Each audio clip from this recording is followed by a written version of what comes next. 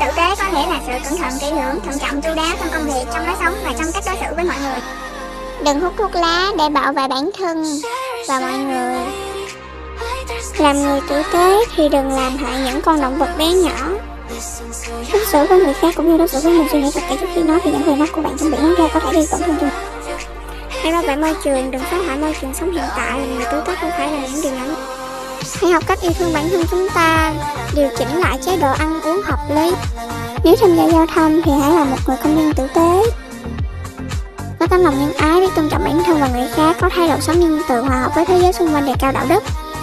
Sự tử tế chính là niềm tin vào cuộc sống tốt đẹp, vì sự tử tế chính là yêu cuộc sống với sự tử tế với mọi người.